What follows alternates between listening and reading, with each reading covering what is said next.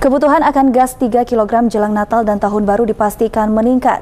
Guna mengantisipasi kelangkaan gas 3 kg, pihak Diskoperindak Tanjung Jabung Barat memastikan akan menggelar operasi pasar khusus gas 3 kg. Rata-rata animo masyarakat kota Kuala Tunggal terhadap gas 3 kg sangat meningkat, terutama jelang perayaan Natal dan Tahun Baru mendatang. Untuk itu, guna mengantisipasi agar gas 3 kg di kota Kuala Tungkal tidak langka, maka pada 22 Desember 2022 mendatang, pihak Diskoperindak akan melaksanakan operasi pasar gas 3 kg yang akan dipusatkan di depan kantor Diskoperindak Tanjung Capung Barat.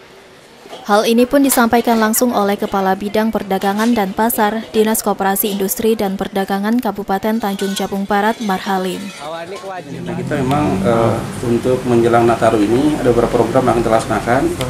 Uh, berkaitan dengan LPG juga kita akan melaksanakan Insya Allah uh, ada tiga titik wilayah Ilir, kemudian Betara dan Kuala apa uh, Bermitam untuk langsung UPI masalah tanggal nanti akan kita sesuaikan dengan uh, koordinasi kita dengan Pertamina.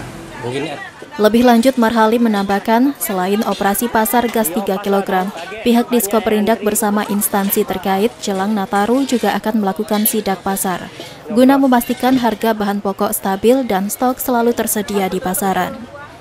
Surya Kurniawan, Cek TV, melaporkan.